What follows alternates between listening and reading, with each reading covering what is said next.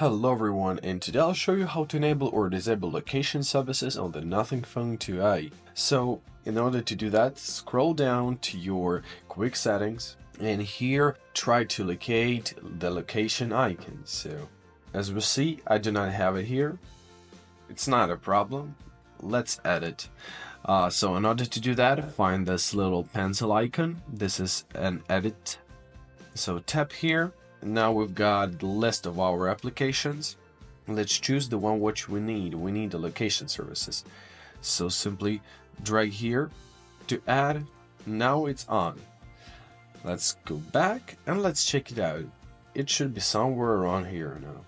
Right? As we see, we've got our location. So simply tap it on. So uh, simply tap on it. Now it's off, right? As we see.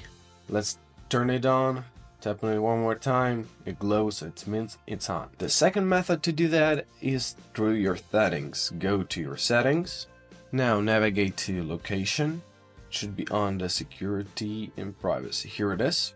Uh, tap here and simply turn the switch on or off. Easy as that. Thank you so much for watching. Hope this video was helpful. Have a great day.